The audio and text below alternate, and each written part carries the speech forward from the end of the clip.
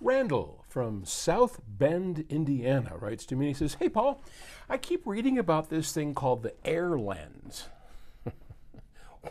what the heck is an AirLens? I can't find anything about it. Well, I don't know when you're watching this video. By now, I would think it's up on the website, but I have been wrong before. It was just a couple weeks ago I started talking about the AirLens, and it wasn't. And, and you know, I do, I come in on a Saturday, I do these videos, and then I parse them out each day. And so I don't know when they're showing up, but I, we talked about the AirLens before, but I didn't have one in my hands. And so here you are. This is an AirLens. And you can see the back of it. There you go. The sucker is heavy. It's got to be, I don't know, 10 pounds, 20, I don't know. And basically, the AirLens is a streaming device. So if we were to think about the basic structure of how we stream music, we have to have a few elements, okay? You've got to have a controller, some means of communicating your wishes for what you want to hear. Then you have to have a server that communicates with that controller. And then lastly, you have to have some way to render it to a DAC. Okay, so those are the three elements that you need. And you can use a computer, a single Mac, Apple, you know, Windows, whatever, can do all three. So you've got a video screen that's your, uh, and a program that you go through your library, like iTunes. iTunes is a controller, okay?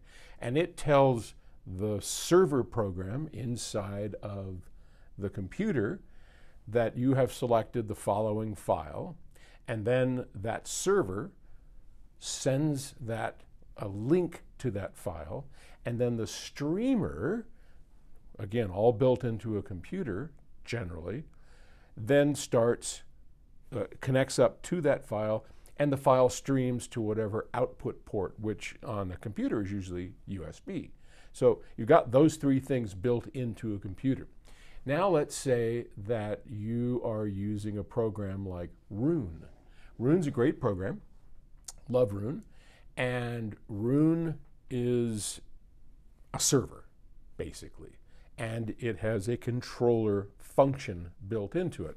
And that controller function is the user interface, if that makes sense.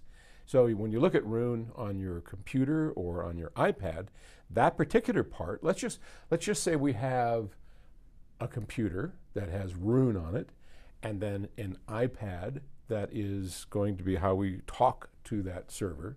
And then somehow you need to get what's in the computer as controlled by Roon to your DAC, right? So the typical setup, you'd have an iPad, you'd have a computer playing Roon, and then through USB, you'd connect up to your DAC.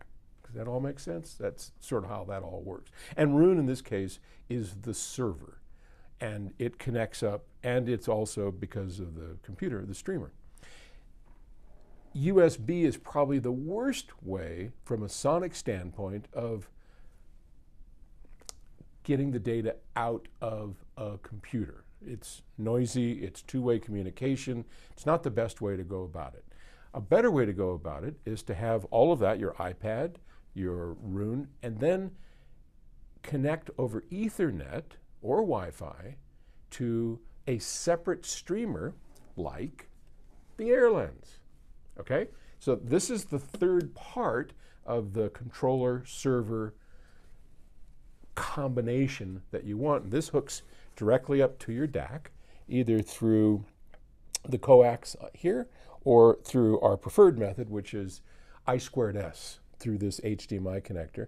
And uh, of course, we developed that entire interface and set the standards and the protocol for it. And now a number of companies use it, and it's definitely the best.